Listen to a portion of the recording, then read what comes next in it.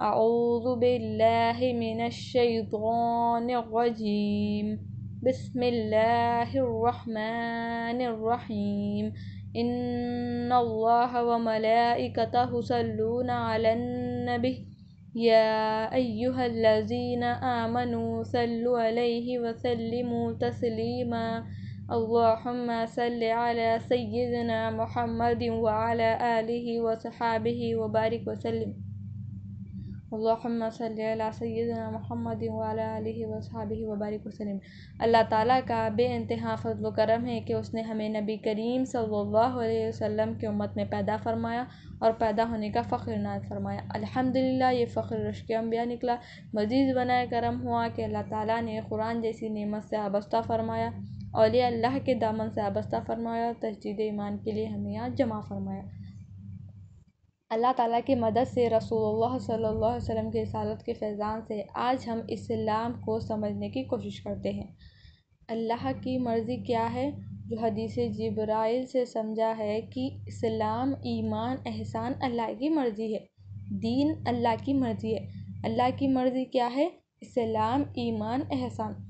इन अज़ीज़ आज जो हम सीखेंगे, पहले अल्लाह की मर्ज़ी जो है इस्लाम, उसको सीखेंगे। एक सहाबी ने अर्ज़ किया, या रसूलुल्लाह इस्लाम क्या है? नबी करीम सल्लल्लाहु अलैहि वसल्लम ने इरशाद फरमाया कि, तू अपना दिल अल्लाह के सुपुर्द कर दे, अपना रुख अल्लाह की तरफ़ कर ले, नमाज़ कायम कर और ज़क़़त अदा कर। ये नमाज़ और ज़क़़त मददगार भाई है। क्या करना है? अपना रुख अल्लाह की तरफ़ कर लेना है। नमाज़ क़ायम करना है और ज़क़़त अदा करना है। मुसलमान क्या है? मुसलमान के मायने फरमा फरमा बरदार है। मगर हदीस में क्या आता है? नबी करीम सल्लल्लाहु अलैहि वसल्लम ने इरशाद फरमाया, मुसलमान वो है जिसकी ज़बान और हाथ से दूसरा मुसलमान महफूज रहे। अब इस्लाम के मायने क्या है? अब इसको हदीस के साथ, कुरान के साथ समझ, समझेंगे। इस्लाम के मायने क्या बताया गया?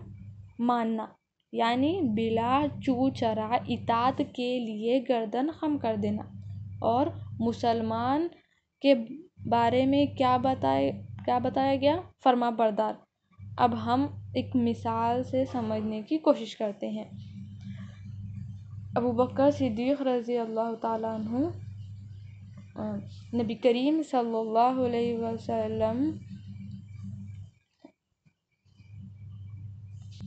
नबी करीम सल्लल्लाहु अलैहि वसल्लम इरशाद फरमाते हैं ए अबू बकर, अल्लाह का हुक्म आने वाला है कि हमें हिजरत करनी है।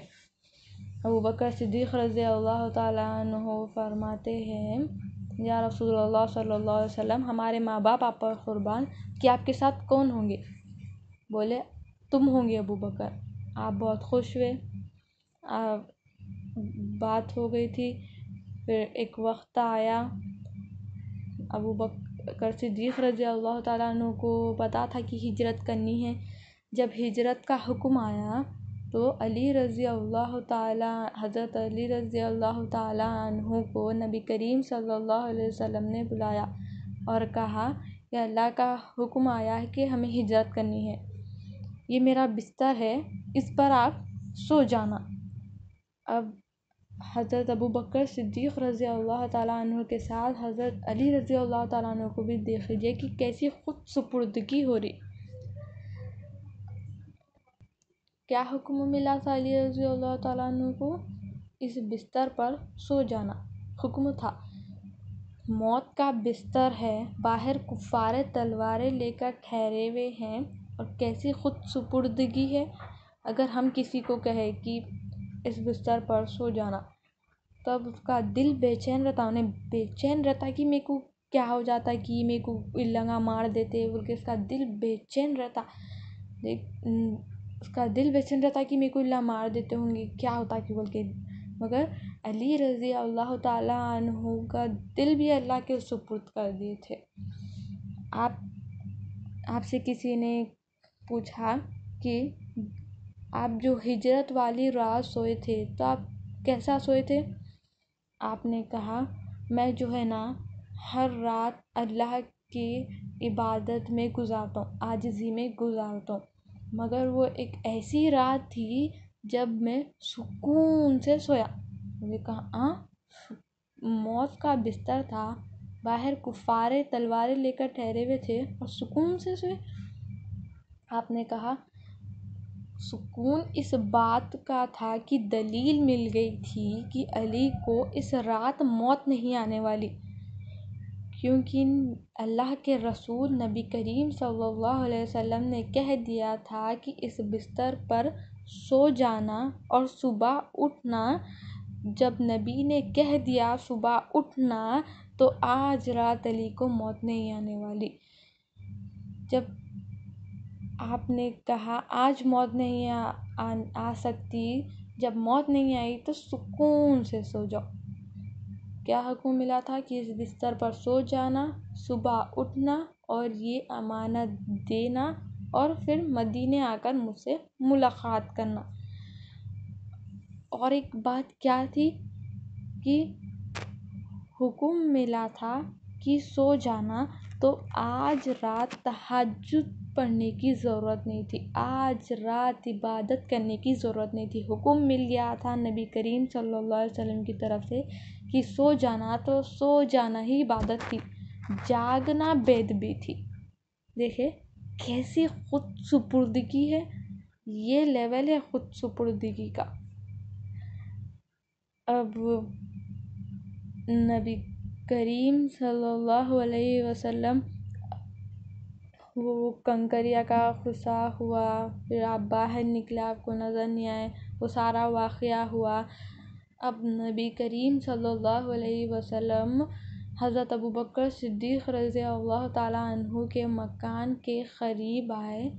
तो ख़दमों की आहावट सुनकर हज़रत अबू बकर सिद्दीक़ रज़ी अल्लाह अन्हु ने दरवाज़ा खोल दिया। आपने कहा अरे अबू बकर, जिब्राइल तो अभी आए, तुम्हें कैसा पता चला कि हिजरत का हुक्म आ गया? आपने कहा, या रसूलुल्लाह सल्लल्लाहु अलैहि वसल्लम, हमारे माँ बाप आप पर कुर्बान। जब आपने कहा कि हिजरत करनी है, अल्लाह का हुक्म आएगा तो उस दिन से मैं तैयार बैठा हुआ हूँ कि जिस रात नबी करीम सल्लल्लाहु अलैहि वसल्लम को हुक्म आए उस रात मैं तैयार बैठूं।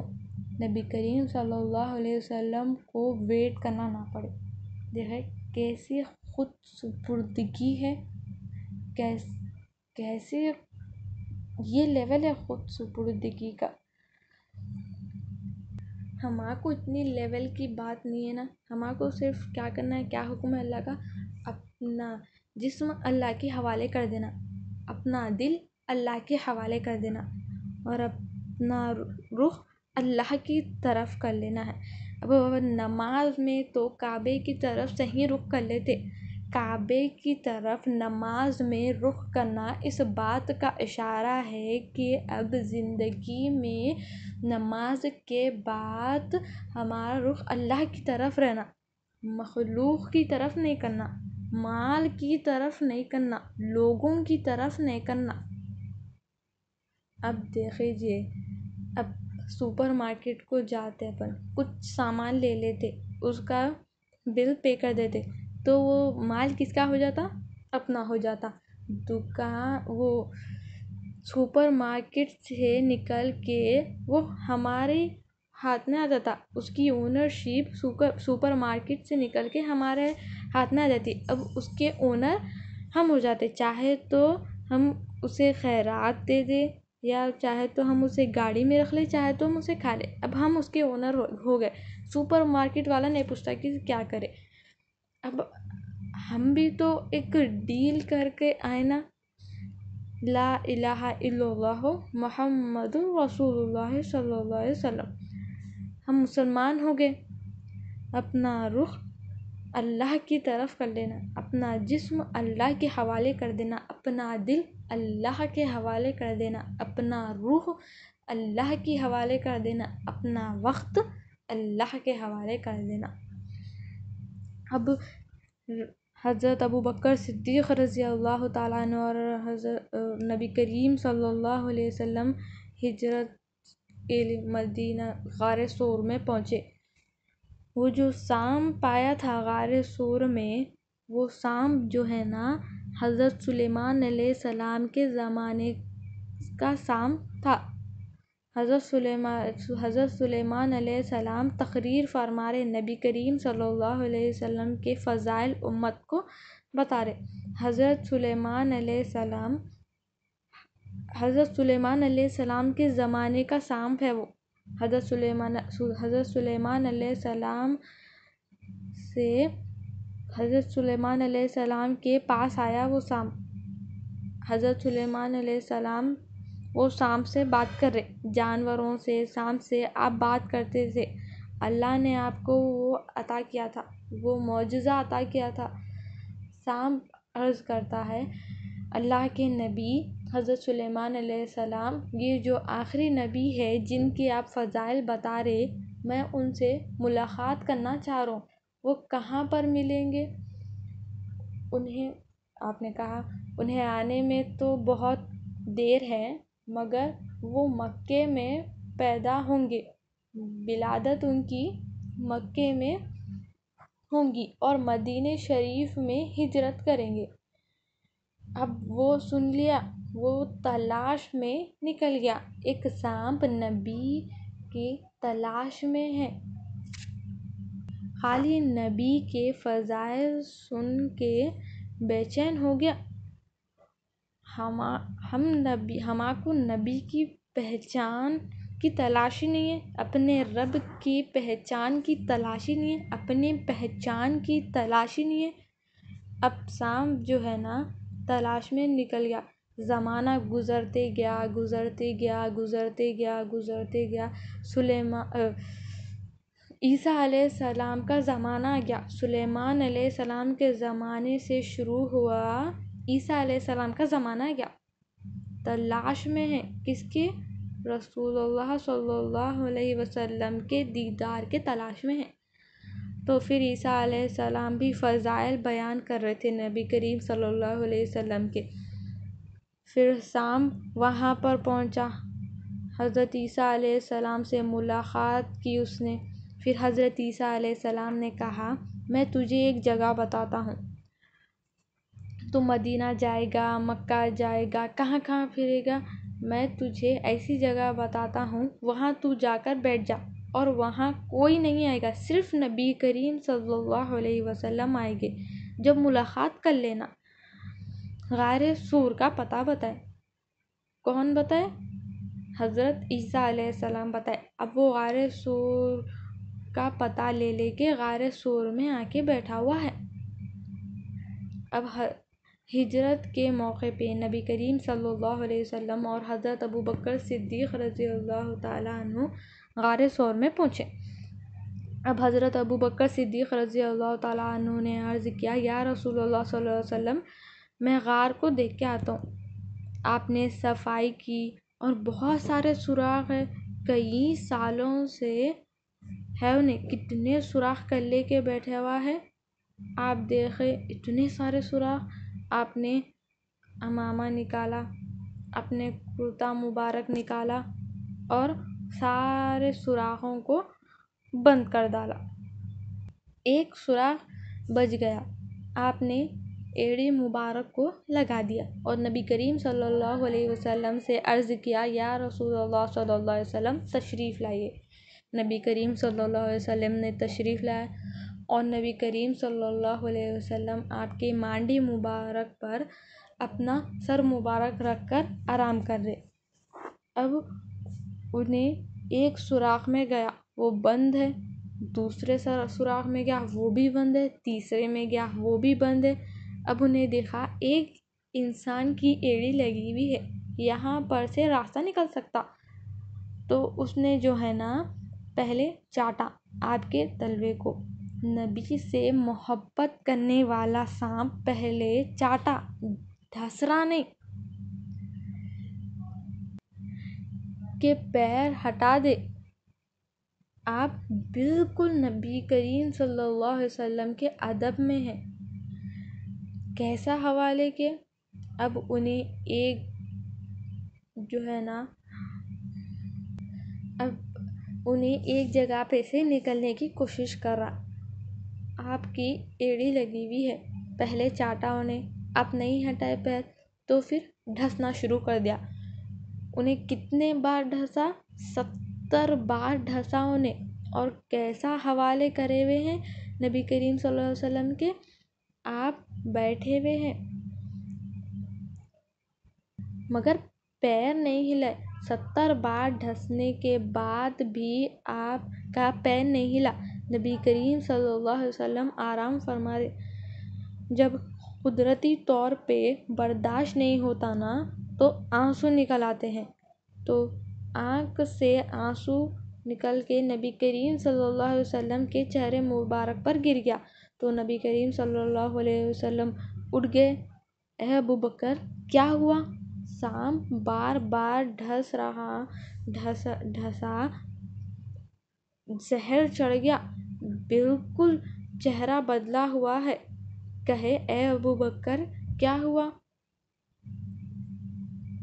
अब इतनी बुरी परेशानी है, इतनी बेचैनी है अब एकदम से मौका मिला तो क्या बोलना चाहिए? मेरे को शाम ढस लिया बोलना चाहिए ना। मगर आपने ऐसा नहीं कहा। क्या बोले?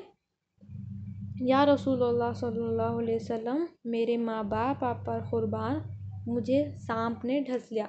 आपने कहा, पैर हटाओ। जब पैर हटाए तो वो निकला सांप। अर्ज़ किया यार या नबी करीम सल्लल्लाहु अलैहि वसल्लम, नबी करीम सल्लल्लाहु अलैहि वसल्लम ने वहाँ पर दहन लगाया। और आपका पूरा जहर चला गया। तो बात क्या है? जब हवाले करें नबी करीम सल्लल्लाहु अलैहि वसल्लम के तो इतना जहरीला साम ढस ढसा तो कुछ नहीं हुआ। जब ये खुद सुपुर्दगी, ये हवाले करने की मिसाल है तो हम, हमारे को कौन नुकसान पहुँचा सकता है जब हम हवाले करेंगे अपने आप को अल्लाह ताला के कुरान से समझने की कोशिश करते हैं। सुरह बकरा, आयत number two nought eight two nought nine ए ईमान वालो, इस्लाम में पूरे पूरे दाखिल हो जाओ और शैतान के नक्श कदम पर ना चलो। वो तुम्हारा खुला दुश्मन है। अब अल्लाह ताला क्या कह रहे इस्लाम में पूरे पूरे दाखिल हो जाओ। पूरे पूरे क्या मतलब है? हमें तीन चीज़ें दी गई है, जिस्म कल्ब और रूह। पूरे पूरे दाखिल हो जाओ, यानी जिसम से भी पूरे पूरे दाखिल हो जाओ। और दिल भी अल्लाह के सुपुर्द कर दो और अल्लाह के हवाले कर दो। और शैतान के नक्श कदम पर ना चलो। शैतान क्या करा? नमाज़ तो पढ़ता था, इबादत करता था उसके सजदे बांट दिए जाए तो ज़मीन पे कोई हिस्सा बाकी नहीं रहेगा। उतने सजदे करा उन्हें नमाज़ भी पढ़ता था, मगर बेअदब था उन्हें। आदम सलाम का बेअदब था। क्या बना? काफिर बना और लानती बना। क्या बोल रहे हो? उसके नक्शे कदम पर ना चलो। उसने बेदबी करी तकबर किया था। वो ना करो। आगे क्या फरमा रहे फिर? अगर साफ़ साफ़ अहकाम आने के बाद तुम लड़खड़ा जाओ तो यकीन रखो कि अल्लाह गालिब और हिकमत वाला है। अब साफ़ साफ़ बता दिए अल्लाह ताला। कह रहे, हम साफ़ साफ़ बता दिए। फिर भी समझ नहीं आया तो फिर अल्लाह गालिब है। हिकमत वाला है। हिकमत से काम लेगा। गालिब है। जो चाहे वो कर सकता है। तो आज क्या बात समझ आई? इस्लाम के मायने क्या है? मानना। कैसा मानना? बिला चू चरा इतात के लिए गर्दन झुका देना। अल्लाह ताला ने जो हुक्म दिया है, उसको मान लेना। उसमें चू चरा नहीं करना। और क्या है?